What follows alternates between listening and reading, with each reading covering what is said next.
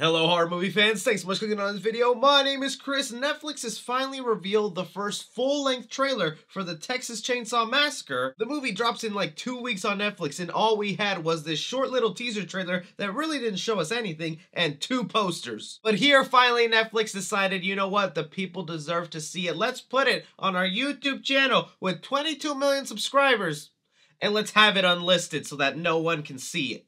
What? That's right, as of me recording this right now, if you go to their channel, the trailer is still unlisted, so you have to go through some hoops and hurdles to find it. Nonetheless, around here we enjoy talking some horror movies, so what I'm going to be doing here for you guys is just giving you my thoughts and opinion on this Texas Chainsaw Massacre trailer, showing you some of the best moments of the trailer, but this won't just be about me. Use the comment section right now to give me your opinion on this movie. I had really high hopes for this when I heard they were finally going to be rebooting and doing something new with Texas Chainsaw Massacre, but with everything we've learned and everything we've seen, I've just had to tame my expectations to now I just want a bloody fun time movie. Alright, so with this full-length trailer for the Texas Chainsaw Massacre, I'm just thinking a couple of things. One, it really does not look that bad. We've had a lot of leaks come out about this movie, and some things have been proven right from this trailer. One of those things that people didn't believe me when we were talking about it is that there will be a scene in the movie where Leatherface himself will jump onto a party bus and a bunch of people on that bus will be live streaming and he'll take them down during it. It sounded ridiculous, but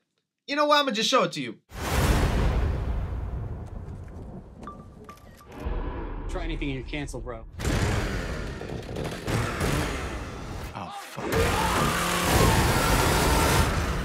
I'll give them props because that did sound absolutely terrible, but the way it plays out in this trailer, Oh, I'm clapping. I'm like, that was awesome. Bunch of people trying to cancel Leatherface, and the man's like, I gotta change. What are you gonna do with that phone? Either way, I think a joke like that might piss some people off just because it involves cancel culture and whatnot. But it's like, it's a horror movie. People are slashing and dying. Let's have some fun here. Other than that, this trailer seems to be taking very, very heavy inspiration from Halloween 2018. Like, part of me feels they just took the script from Halloween 2018 and we're like, all right, take out Michael Myers and put in Leatherface. Because this movie is supposed to be a direct sequel to the very first Texas Chainsaw Massacre movie, so everything and anything that has happened between, you can ignore and forget about it. This is old man Leatherface well into his 70s, and it looks like a new group of kids come into town. From what we've been hearing now that these leaks have kind of been proven true, is that these kids are in town because they have bought the town and are going to gentrify the area. Basically kick out everybody who lives in this town and then try and turn it fancier so that other people could come and live in it. We have a vision for this place. All it needs is young blood. I don't want to live here. This is a chance for people to start fresh somewhere.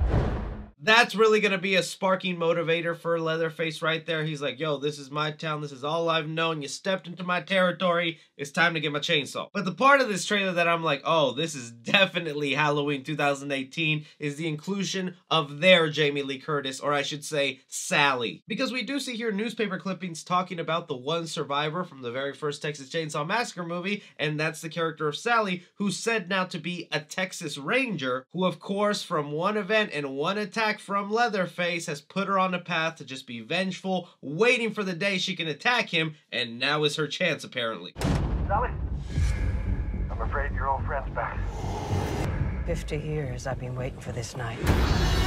We also get a better look of the new mask Leatherface will be donning in this movie. And I gotta say, still not a fan of it, but I guess it's creepy enough. It really just looks like a melted face on him. I think there are some better shots of it in this trailer when he's fully covered in blood. I'm not saying this approach that Halloween 2018 has kind of made famous now in the horror slasher genre is bad, but what they're doing here just feels so rehashed, obviously knocking off Michael Myers. Even more so because it feels like we've almost kind of had this exact same sequel with Texas Chainsaw 3D, where that movie was a direct sequel to the first Texas Chainsaw. It had an older Leatherface going after a new group of kids. So I'm starting to see exactly why the studio felt, yeah, we're probably not going to make our money back if we throw this in theaters. Netflix, how much will you give to us? But look, with that said, we also have to be really honest with ourselves. Leatherface has had, what, like nine, eight movies?